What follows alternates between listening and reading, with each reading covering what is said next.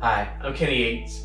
Welcome to Hold Hope. And this is our regular weekly message. Today's message is entitled From Everlasting to Everlasting, because that is who Jesus is. Jesus is from everlasting to everlasting. Jesus was, is, and will forever be the Lord God Almighty. And that, my friends, is the gospel truth.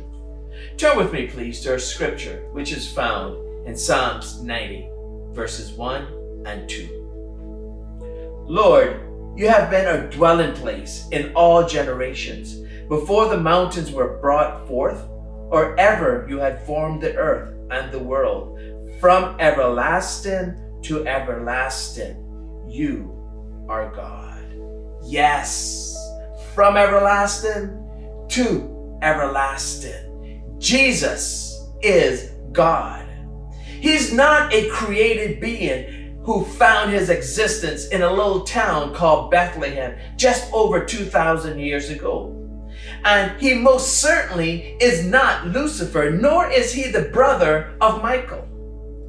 For more on that, see our video, Five Biblical Statements That Claim Jesus is God, under our Nuggets of Truth category. Also see, Did Jesus say he was Lucifer? Also in our Nuggets of Truth category. You see, Jesus is none of these. Jesus is God, and he also claimed to be God. Although some people who are not familiar with the scriptures or who through deceitful practices try to confuse people and cause them to doubt the divinity of Jesus, they will say that Jesus never claimed to be God, which is a downright lie. When addressing the Jews, Jesus explained that he existed before Abraham was even born. I want us to read those four verses. This is really interesting. John chapter 8, verses 56 through 59. Your father Abraham rejoiced that he would see my day. He saw it and was glad. So the Jews said to him, You are not yet 50 years old, and have you seen Abraham? Jesus said to them, Truly, truly, I say to you, before Abraham was, I am. So they picked up stones to throw at him, but Jesus hid himself and went out of the temple. Did you notice what Jesus said? He said, Your father, Abraham, and not our father, Abraham. Jesus was making a distinction between himself and them. Look at what he said when he was teaching his disciples how to pray. Matthew chapter 6, verse 9. Our Father, which art in heaven, hallowed be thy name. See, he includes himself in that prayer. He said, Our Father, meaning my Father and your Father. But Abraham, not so much, because he created Abraham. Therefore, Jesus made a distinction between himself and the Jews by claiming to be God.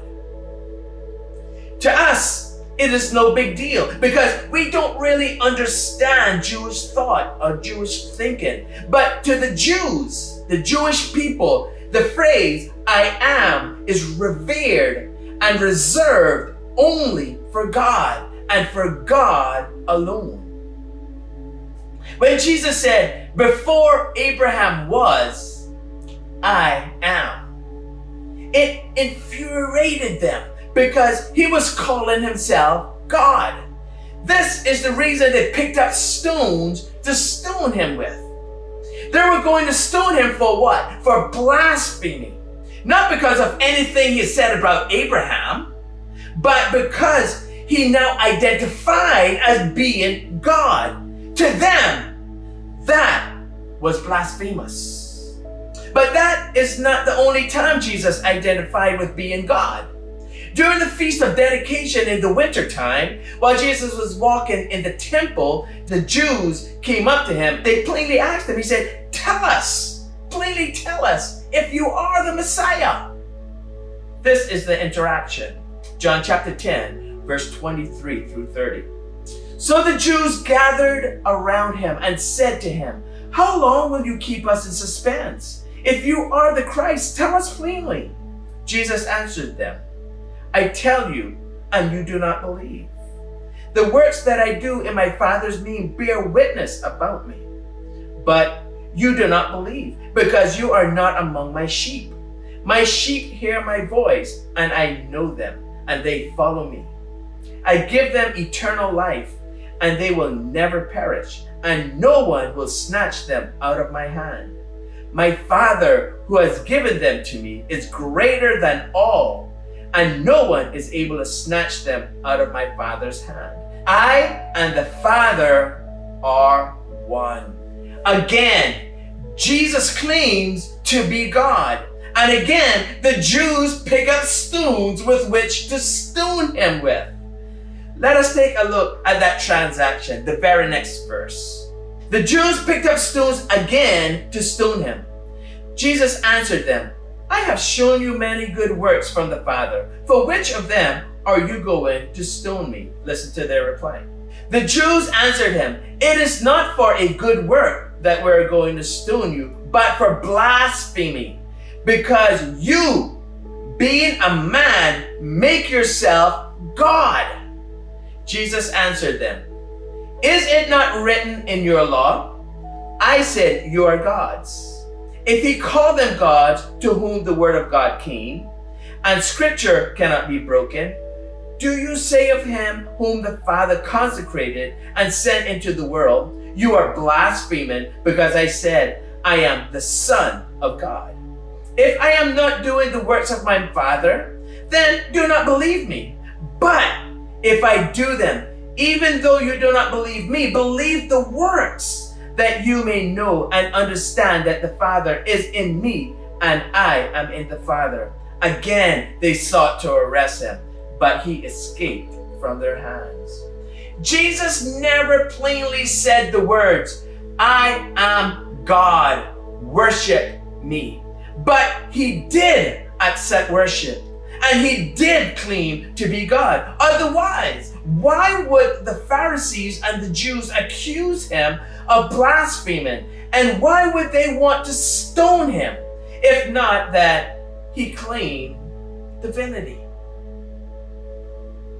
The other thing that people are saying, or, or, or, they're trying to say about Jesus, is that he only showed up in the Bible in the New Testament. We've never heard of Jesus before. And then Paul attributes divinity to him in the New Testament. Well, that is not so. Again, that is another lie or another misunderstanding of Scripture. Because in the Old Testament, every time you read about the angel of the Lord, that is talking about Jesus.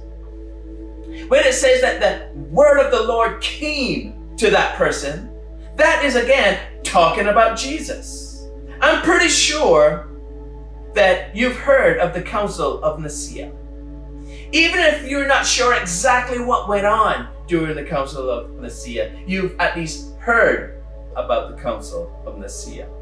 Well, the first Council of Nicaea's main function, among other things, yes, but the main function was to determine the validity of the issue of the divine nature of God the Son and his relationship to God the Father. In other words, was Jesus God?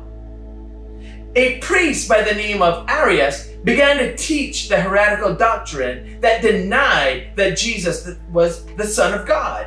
It denied that Jesus was God in the same sense that the Father was God. His teacher declared that Jesus, the Son, is not eternal, but is created when he was conceived by Mary through the Holy Spirit. There, he had his beginning. It was so divided the empire that the emperor, Constantine I, or Constantine the Great, called a council to be held in Nicaea in the month of May of the year AD 324. Although the emperor had invited all 1,800 bishops of the Christian church within the Roman Empire, only somewhere between 250 and 318 bishops showed up to the meeting. They each brought with them two priests and three deacons.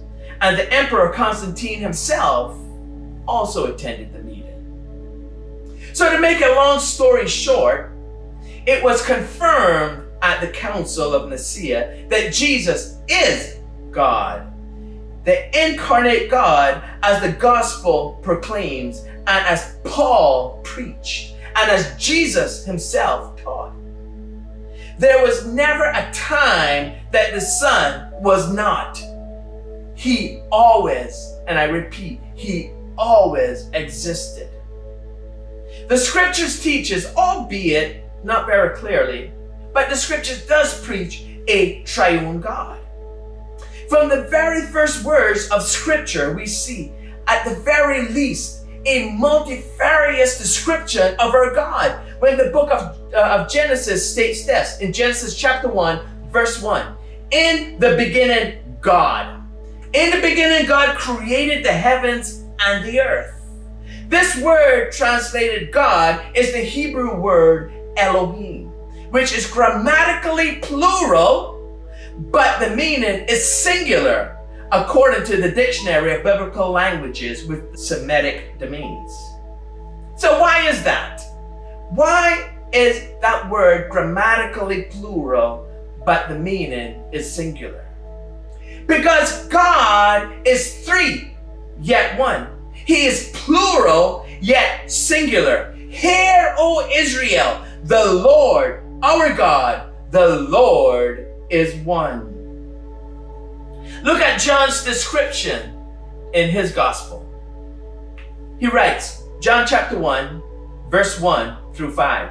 In the beginning was the Word, and the Word was with God, and the Word was God. He was in the beginning with God. All things were made through him, and without him was not anything made that was made.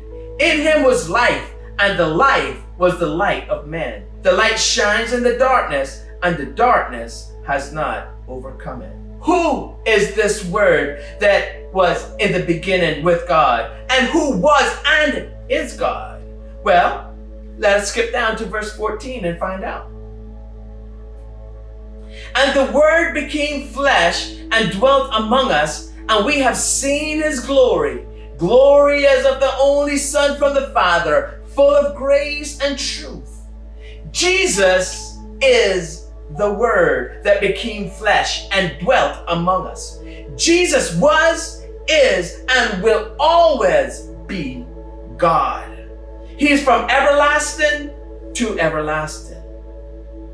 But some argue, and I must say, make a really good point. They ask, if Jesus was God, then why did he pray to God? The answer, however, is really quite simple. You have to understand that the divine nature is different from the human nature. When Jesus came to the earth, he took on human nature. In other words, he came as a man in order to redeem man. Why? Why did he have to become man to redeem man? Another good question. But for that answer, let me point you to our Bible study, The Kinsman Redeemer, Part 1 and 2. Jesus had to take on the form of man, meaning he became fully man. He was 100% man while staying fully God, 100% God. But he did not use his godhood but rather he laid it all aside. He laid his divinity aside so that he could operate, so that he could be man in order to redeem man. Therefore, being 100% man, Jesus had to depend on God the Father and on the Holy Spirit. He only did what was told him to do. He only did what he heard. He only said what he heard in those years that he ministered on the earth as 100% man. When he put aside his divine nature in order to function as 100% man, in order to redeem man, he limited himself by his own will, mind you. He limited himself to function within the limits of his human nature. He never gave up his divine nature. He only chose not to access his divine nature. Therefore, prayer was his connection to the divine. It was his connection to the Father, as it was for Peter, James, John, Jude, and the great apostle Peter, and for every Christian who has ever been born, who has ever served the Lord. As a man or a woman, we cannot function in our Christian lives without our connection to the divine, which is through prayer. Prayer is our connection to God, the divine. And that is the reason why Jesus prayed so much because of his connection and his limitation as being man by his own will. Jesus' secondary jobs in coming to earth is to show us how to live a holy life through prayer and through worship of the Father as a mere human, as with the human nature. But someone might say, okay, Brother Kenny, that's good. But listen, the Bible says that God is not a man. What about that? And I say, wow, another good question. So let us read that verse. Numbers chapter 23, verse 19. God is not man that he should lie, or a son of man that he should change his mind. Has he said, and will he not do it? Or has he spoken and will he not fulfill it? This is the Old Testament. And the Old Testament does not take into consideration the incarnation of Jesus. Why? Because at that time, at the time of that writing, Jesus was still the angel of the Lord. This understanding of God was not revealed to Balaam, who was the one who uttered those words in his discourse to Balak. When Balak hired him to curse the, the, the Israelites who had just come out of the land of Egypt and they were still in the plains of Moab. Look at what Paul wrote to the Ephesians, Ephesians chapter 3, verse 5 which was not made known to the sons of men in other generations, as it has now been revealed to his holy apostles and prophets by the Spirit. So there, Paul confirms that. That revelation was not given to the men of old, to that generation. But someone would say, okay, but what about Hosea chapter 11, verse 9? This is God Himself speaking. All right, well, let's read that verse. Hosea chapter 11, verse 9. I will not execute my burning anger. I will not again destroy Ephraim, for I am God and not a man, the Holy One in your midst, and I will not come in wrath. Again, let us take into consideration what we said about the revelation not being given at that time of the writing. But also, let us think about this. Jesus, as a man, was not given the authority to execute God's burning anger, nor to pour out his wrath on man, but rather he came into the world as a man to redeem man. I want us to look at two verses John chapter 3, verse 17. For God did not send his Son into the world to condemn the world, but in order that the world might be saved through him. And now, John chapter 12, verse 47. If anyone hears my words and does not keep them, I do not judge him, for I did not come to judge the world, but to save the world.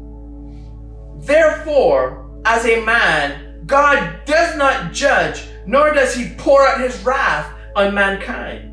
Judgment is reserved for God and for God alone. It's reserved for that day when you stand before the great white throne judgment.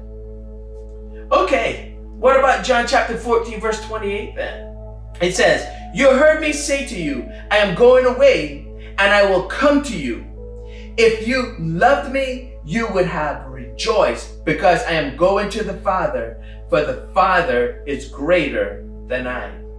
If Jesus was equal to God and of the same substance, then why did Jesus say that the Father is greater than he? And they like, mic drop. Go ahead. I'll wait. Well, I'd say this is another really good question. So let me give you a really good answer. God the Father is greater than Jesus the Son in role only, but not in divine nature.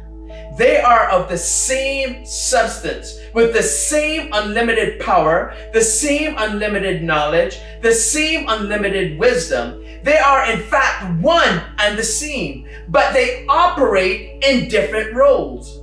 Jesus, as the obedient son, submits to the Father, making him greater in role only. Just remember gyro, G-I-R-O, greater in role only. That's the reason why Jesus said that it's expedient for him to go back to the Father so that he could send the Holy Spirit. His role has now changed. He is no longer the suffering servant, but he's the risen Savior, the Lord God Almighty, and of the same eternal substance as the Father. After his death and resurrection and ascension into heaven, Jesus sat down at the right hand of power, the right hand of the Father, and took back his role unto himself of running the world. Look at what John the Baptist's conclusion was about who Jesus is. John chapter 1, verse 29 through 34. The next day, he saw Jesus coming toward him and said, Behold, the Lamb of God, who takes away the sin of the world. This is he of whom I said, After me comes a man who ranks before me, because he was before me. I myself did not know him, but for this purpose I keep baptizing with water, that he might be revealed to Israel. And John bore witness, I saw the Spirit descend from heaven like a dove, and it remained on him. I myself did not know him, but he who sent me to baptize with water said to me, He on whom you see the Spirit descend and remain, this is he who baptizes with the Holy Spirit. I have seen and have borne witness that this is the Son of God. G- John said that Jesus was before him. Yet John was older than Jesus according to birth. John also said that he got it from a good source that Jesus was, in fact, the Lamb of God who takes away the sin of the world. Jesus is the Son of God, and Jesus claimed to be the Son of God because Jesus was from eternity to eternity. Yes, many times Jesus accepted worship. People say he didn't accept worship. Yes, he did. Read the Bible. Read your Bible. Pick it up. Open it up. Turn to Matthew chapter 8, verse 2. Matthew chapter 9, verse 18. Matthew 14, verse 33. Matthew 15, verse 25. Matthew 20, verse 20. Even Thomas, who is sometimes called Doubting Thomas because of his lack of belief in the resurrection, claimed this is what he proclaimed My Lord and my God. When he saw the risen Savior, he could say nothing else but, My Lord and my God. And he worshiped him. Many others worshiped Jesus as well, like the blind man who Jesus healed in John chapter 9, verse 38. He too worshiped Jesus. Jesus is God, and He's the only way to salvation, for it is written in, in Acts chapter 4, verse 11 and 12 this Jesus is the stone that was rejected by you, the builders, which has become the cornerstone. And there is salvation in no one else, for there is no other name under heaven given among men by which we must be saved. Peter also spoke up during Jesus' earthly ministry and said, Lord, you alone have the words of life. Who has eternal life? But God and God alone has eternal life. So if Jesus alone has the words of eternal life, then Jesus is God. And if Jesus is God, then you ought to worship him. Let me ask you, have you met Jesus? Have you come to Jesus to have your sins washed away? He is the only way to eternity, to eternal life. If you don't know Jesus as your Lord and Savior, you can. It's easy. All you have to do is to repeat this prayer after me. Mean it. Believe it in your heart that He has forgiven you. And then you live for Him from now on. That's all you got to do. It's based on faith. So if you're ready to receive Jesus as Lord and Savior, just repeat this prayer after me. Heavenly Father, forgive me of my sins. Cleanse me, Lord. Help me to walk the straight and narrow path. Help me to put my faith in your son Jesus.